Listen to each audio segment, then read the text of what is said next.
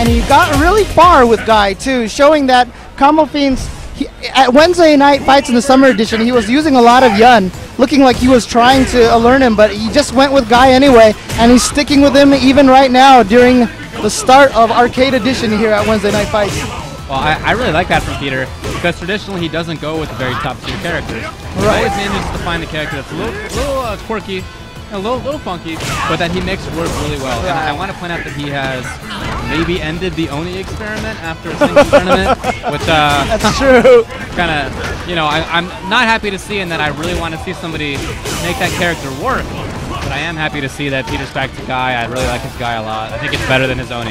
But I mean, uh, the thing about Combofiend is that he's really good at using characters that have a lot of options. Right. It's like as long as there's a lot of stuff to do. That's why he used Abel and Viper in the first game, and then he switched to Guy. He just enjoys having a bunch of different like movement methods and and you know, and Guy has all those run techniques and everything like that. So And it's a character who he can play, you know, his great footsie game with, but also his excellent, excellent uh, mix-up game. But right now, Vicious. I expect a Ugh. command grab reset somewhere. Yep. Oh, hello. Hello, James Ken. Yeah, because I figured he wanted to catch him with that so he could get the free grenade in. He had the meter all ready to go. So what's Combo gonna do right now? Vicious, who, by the way, I eliminated last week. Oh yeah. Oh yeah, with Is- who? Uh, with Dan. That's right, Yeah, against that's his right. Yun. I made him switch away from Yun. He played Rufus, beat him there. and now Combofiend wants to go with for a character change. Oh, is he gonna go? Oh, it's Yun. It's Yun. Oh wow, Combofiend says, really, huh? You know, I mean, he, he does he does think of this game as being really imbalanced, and he's, he's not wrong about that. Obviously, Yun is awesome, and so that's that's why he was playing Yun before. That he thought that he in this game at least you couldn't beat him, you had to join him, and here he is trying to join him again. Right. He actually said whether you win or lose in AE was dependent on your actions during the, the select screen. Right. Oh, So he he's Green Yun. Yeah, Combofiend is Green Yun. Vicious is uh, Black Yun.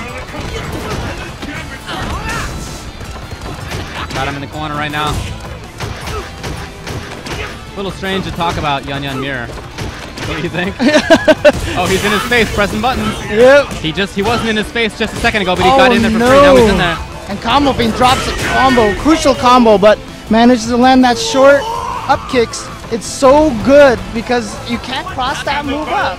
You cannot bait it like you can bait a lot of other uppercuts. Oh, I, I thought the Vicious might have been trying for a safe jump setup there, but that's not how you do it. And you can see right there that Combofiend probably hasn't used Yun a lot recently, dropping some of the, the relatively easier links that uh, Yun has. Nice counter there, uppercut for Oh, that was Vicious. real fancy. Went low. Oh. Ooh. But see, once again, dropping combos. Oh no, short up kicks into Genei Jin in there, saving his meter.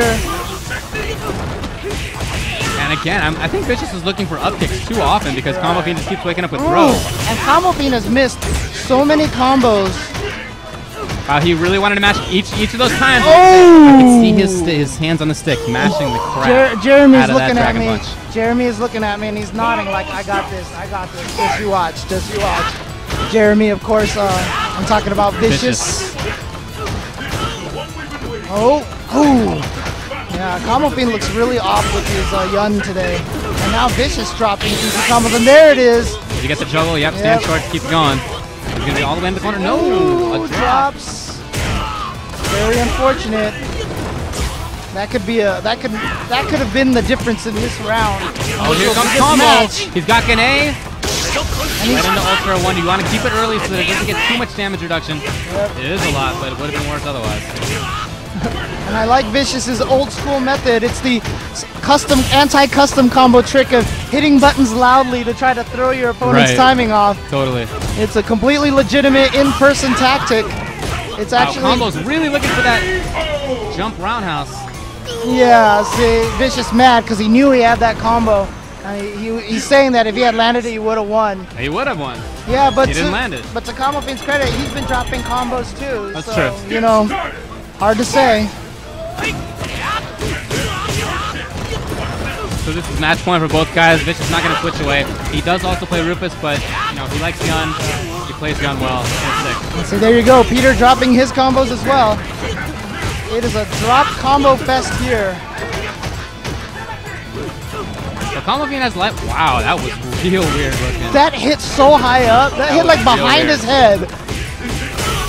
There we go. Not quite a meter for Genei Jin. Both of them oh. are on the verge of Genei Jin. Oh, Oh, great FADC there from Peter to save himself at the last second. Chip. Is that chip? Yeah, and Vicious just dashing right in and uppercutting. Because Yeah, if you well, hit, he. Yeah. if you hit late enough with that rush punch, you have a plus advantage even without the EX1. All right, Kamafi not dropping that time.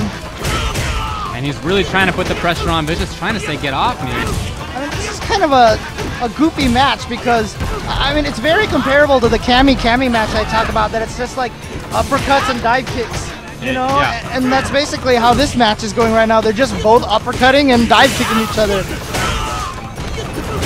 Yeah, basically. there you go. The round ended with an uppercut and a dive kick. And fittingly, it goes all the way down to the wire. This is the last round. Yep. I- We've had so many close matches. I think everyone has been like going to almost the last round every time. Yeah, we've had a bunch of good sets so far. That's a good point. You see that low strong beating Yun's dive kick there? Yun's dive kick, of course, has a horrible hitting box and a very large hittable box. Right. Oh, come on. come on. Uh, so they missed the dive kick, uh, they miss uppercuts and then they trade dive kicks. Right. Oh, man. Yeah, I, I gotta admit, Oh, after, boy. after seeing this match, I gotta say this is a pretty silly looking match. Yeah. Not gonna kill. yeah, he, so he goes for the reset. Oh, great block, but into the low jabs. Oh, and Vicious takes it.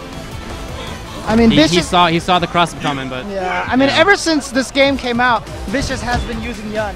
Combo Yeah. Fiend started with him, but then you could see that he went to uh, Guy for all of Evo, so he doesn't have quite that muscle memory and that uh, burned-in reactions for Yun.